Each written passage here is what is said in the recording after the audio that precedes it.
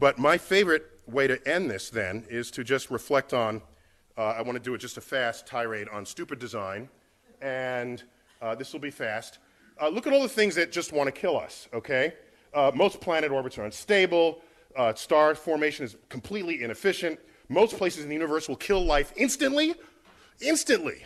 The people that say, oh, the forces of nature are just right for life. Excuse me. Just look at the volume of the universe where you can't live. You will die instantly. That is not, that's not, that's not what I call the Garden of Eden, all right? Uh, uh, galaxy orbits that we orbit once every couple hundred million years, you're bound to come close to a supernova that will wipe out your ozone layer and kill everybody on the surface who doesn't otherwise have dark skin because your high energy rays will give you skin cancer. Um, we're on a collision course with the Andromeda Galaxy. Gone is this beautiful spiral that we have. And of course, we're on a one way expanding universe as we wind down to oblivion, as the temperature of the universe asymptotically pro- approaches absolute zero. That's the universe. Then Earth, volcanoes, tsunami just killed, uh, you know, I think that number's higher, at up 200,000 people, floods, tornadoes. None of this is any sign that there's a benevolent anything out there. And this 90% is, should be 99%, as was earlier noted. That's a, um, of all life that has ever lived is now extinct. Inner solar system is a shooting gallery, comets, uh, uh, asteroids, duck. Um, and look how long it took to make multicellular life. Not from the beginning of the earth. Life happened quickly, but not multicellular life.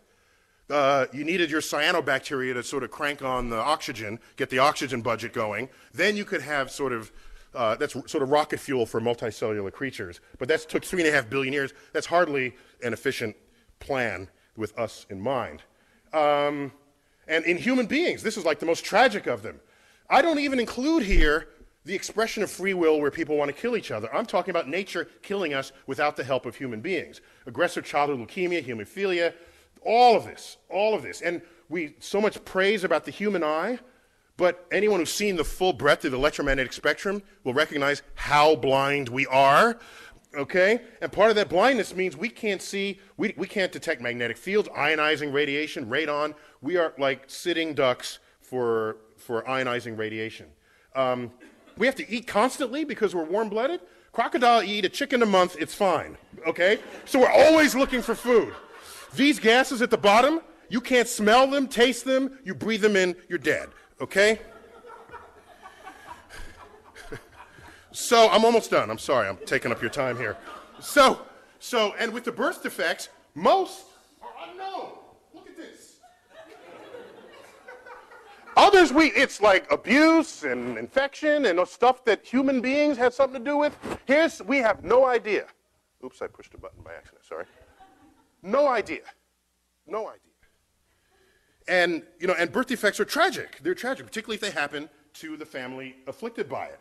And you just look at images of these aborted feces because, um, uh, fetuses because of the, and most of these are stillborn. Others are born, you know, born with a heart outside the body. And so this is all simply stupid design. And the problem is, if you look for what is intelligent, and yeah, you can find some things that are just really beautiful and really, hey, that's a that's a clever. You know, the ball socket of the shoulder, and a lot of things you can point to. But then you stop looking at all the things that confound that revelation. And so, so if I came upon a frozen waterfall and it just struck me for all its beauty, I would then turn over the rock and try to find a millipede, okay, or some kind of deadly newt and then put that in context and realize, of course, the universe is not here for us, for any uh, uh, singular purpose. My favorite of all is, of course, you eat, breathe, eat, and drink through the same hole in your body, guaranteeing that some percent of, of us will choke to death every year. Okay? Imagine if you had a separate hole for breathing and eating and talking. That would be just really cool, right? just, you could drink, breathe, and just talk, and you would never choke. All right? And it's not, it's not a hard request. Dolphins breathe and eat through different holes in their body.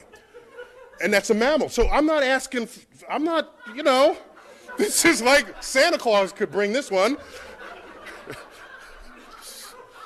um, and this one, of course, my favorite of all, like, what's this going on between our legs, right?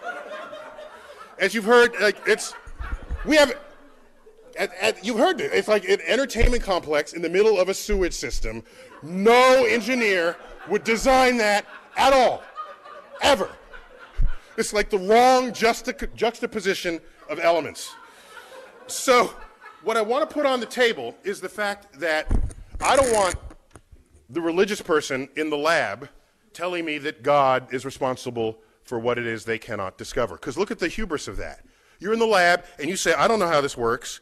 And not only that, no one alive on earth knows how this works. And not only that, no one who will ever be born will know how this works.